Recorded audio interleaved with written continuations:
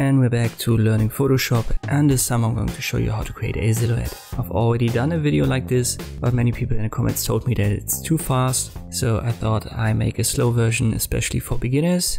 So let us go over this without me speeding anything up. At first we've got the origin here, I press Ctrl J to create a copy. I'll make the origin invisible with this eye icon and I've renamed the copy to copy. So only the copy is visible and I'll work on that copy layer. Now we need the quick selection tool. You will find that right here. You can also click W as the short key. I've got the icon with the plus sign selected and you can resize that up here. Let me make that 200. I'll press enter. Then left click and go over what you want to select. And a quick selection tool will help you automatically finding the right contours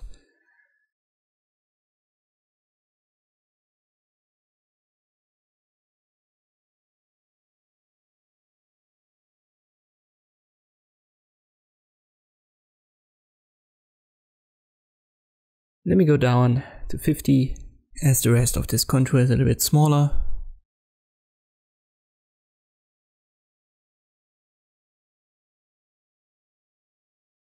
Don't worry about the hair right here, we're going to create a silhouette, so we don't need all of these little hairs. Anyway, if you want to get rid of parts of your selection, you can hold Alt and a minus sign will appear, and then left click, that gets rid of parts. So if you've selected too much, just do that. Let me zoom out pressing Ctrl 0 and I click on this mask icon down here. So this is what we've got. Our copy layer now only has the dancer and no background. And now I'll create a background. I need a new layer for that. There's an icon down here at the right side, we can click on that. Let me rename this layer to background. And I'll put it below my copy layer. And now I use the paint bucket tool right here. You can also press G for that. If you don't see your black and white color swatches, click on the default right here and then switch it to white. Click on your layer and it's completely white and as the copy is on top, we can see this white layer as a background. Let us just press Ctrl G on our copy layer and I'll rename that to silhouette.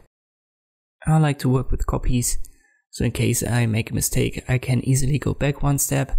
Make sure that you are on your silhouette layer and then hold Ctrl and click on the layer mask. This will select the dancer. Make sure that you don't have the layer mask selected. So the layer itself must be active. Just click on it with the left click. I've got black as a foreground color now and I use the brush tool this time. You can press B for that. Resize it up here. And then draw over it.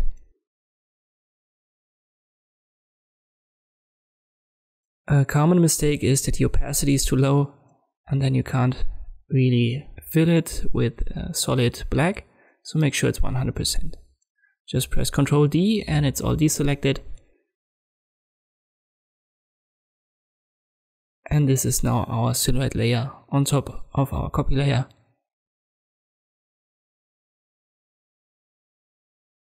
If you've still got questions, just let me know in the comment section below. I hope this video was helpful. Thank you for watching and I'll see you next time.